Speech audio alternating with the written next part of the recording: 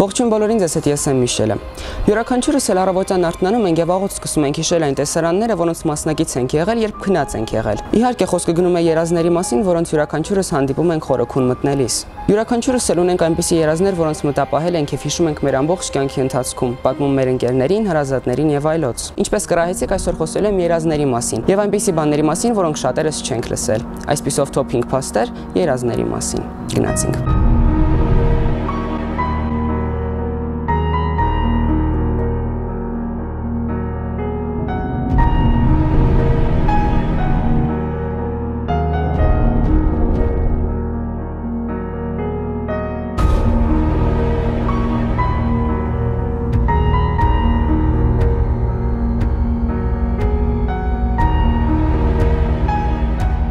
զբաղեցնում է մեր կյանքի 1/3 մասը։ Արտնանալու պահից սկսած մենք մոռանում ենք մեր երազի 90%-ը, որը ի դեպ մենք տեսնում ենք ամեն օր, պարզապես չենք հիշում մեր յուրաքանչյուր օրվա տեսած երազը։ Երազի տևողությունը հարաբերական է։ Եթե քնի ընթացքում չկան կողմնակի խանգարող ձայներ, օրինակ անձրևի, սենյակի դրան կամ այլ սենյակում գտնվող մարդկանց բարձր զրույցի, ապա երազը տեսնում ենք ավելի հանգիստ ռիթմով եւ այն կարող է տևել ավելի երկար։ Կարող ենք բացատրել նաեւ հետեւյալ կերպ։ Եթե դուք տեսնում եք երազ թե ինչպես է գնում աշխատանքի, այն կարող է տևել այնքան, ինչքան դուք իրական կյանքում գնում եք աշխատանքին։ Մենք ունակ ենք կառավարելու մեր տեսած երազները։ Շատ մարդկանց մոտ է հանդիպում տվյալ երևույթը, երբ քնած ժամանակ երազ տեսնելիս դու սկսում ես ըմբռնել, որ դա երազ է եւ սկսում ես խաղալ դրա սյուժեի եւ գործողությունների զարգացման հետ։ Օրինակ, երբ քուն մտնելուց առաջ մտածում ես այն վայրի մասին, որտեղ կցանկանայր տվյալ պահին լինել, ապա հավանականությունը մեծ է, որ երազում կհայտնվես հենց այնտեղ։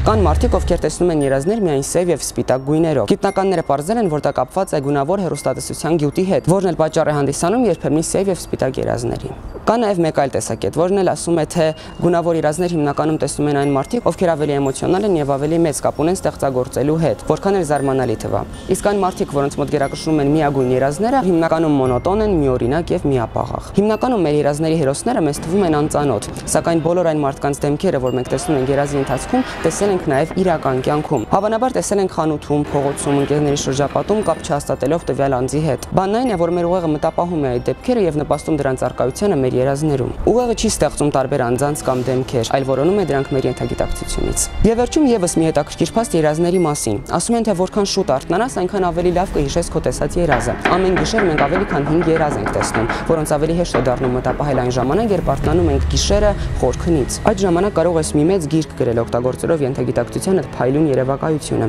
քանզի գիշերվա ընթացքում արթնանալիս ուղեղը ամենալավը մտապահում է հենց երազները։